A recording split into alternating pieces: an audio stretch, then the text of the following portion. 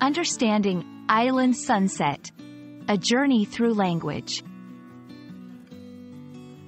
Hello, everyone, and welcome to our English language learning series.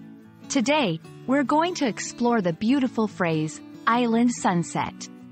This phrase not only evokes vivid imagery but also helps us understand how simple words can paint a detailed picture. Let's dive into the world of descriptive language and discover the beauty hidden in these words. Island sunset is a compound noun, where two words are combined to create a specific meaning. An island is a piece of land surrounded by water, often seen as an exotic or peaceful place. A sunset is the daily disappearance of the sun below the horizon, creating a visually stunning scene.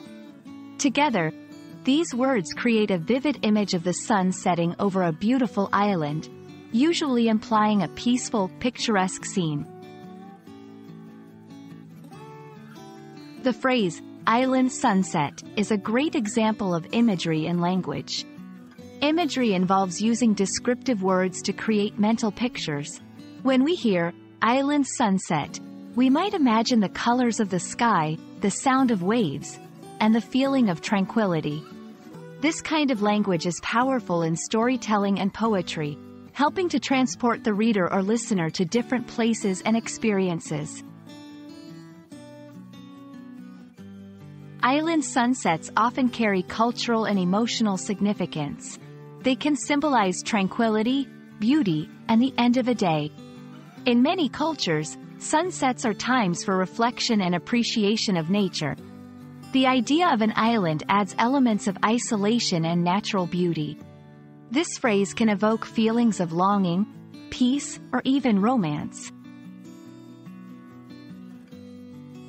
I hope this exploration of island sunset has illuminated how two simple words can create a rich, vivid image. English, like many languages, is full of such descriptive phrases that can transport us to different places and evoke a wide range of emotions. Thank you for joining me on this linguistic journey, and I look forward to our next exploration together.